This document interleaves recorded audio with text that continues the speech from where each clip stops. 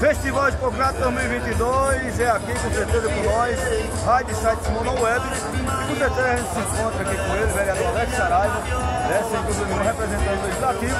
Com certeza o Festival Expocrato 2022. Em primeiro lugar, boa noite, Alex. Boa noite, Simão. Boa noite a todos os ouvintes da Rádio Simão na Web, Rádio é, Web Liderança né, no Brasil e no mundo, né, nos Estados Unidos. Estamos aqui no Expocrato 2022, depois de dois anos sem Expocrato, né, e hoje uma segunda-feira, lotação geral.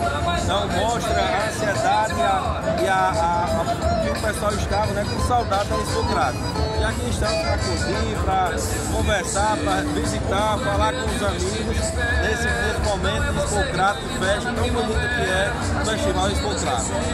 Maravilha. A expectativa, Alex, para o Festival Expocrato 2022? Mas, bom, as expectativas hoje eu estive andando mais cedo, é, olhando as feiras né, dos animais. Os bancos estão com muito dinheiro para emprestar, né, os, os currais lotados de animais.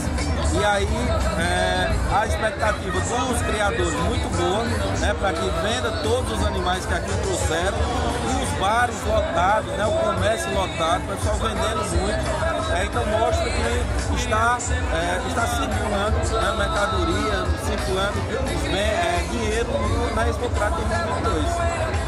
E a mensagem aí, em nome, claro, seu nome, em nome família, estado, Então, quero primeiro agradecer a oportunidade de estar aqui falando ao vivo do Simão, mas também desejar a todos os cratenses uma boa Expocrat e aos visitantes que sejam todos é uma cidade acolhedora e nós, vereadores da, do município do Crato, desejamos a todos uma boa festa e que sintam-se bem acolhidos no nosso município para é, os outros dias de Expocrat.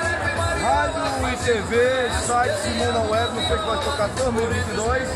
É com certeza com o vereador Alex Saraiva, hoje vice-presidente, aliás, segundo vice-presidente da Câmara Municipal, falando de certeza da Expocrata. Inclusive, né, a Câmara Municipal vai é, homenagear um dos organizadores da Expocrata, que é o Palito. Qual é a data, qual é o dia, qual é o horário? Justamente, amanhã né, fazer uma sessão extraordinária para é, dar, otorgar o título de cidadão cratense ao Palito, né, da proprietário da Mega Som, um dos organizadores do Festival Expocrato, é, na Câmara Municipal às 19 horas.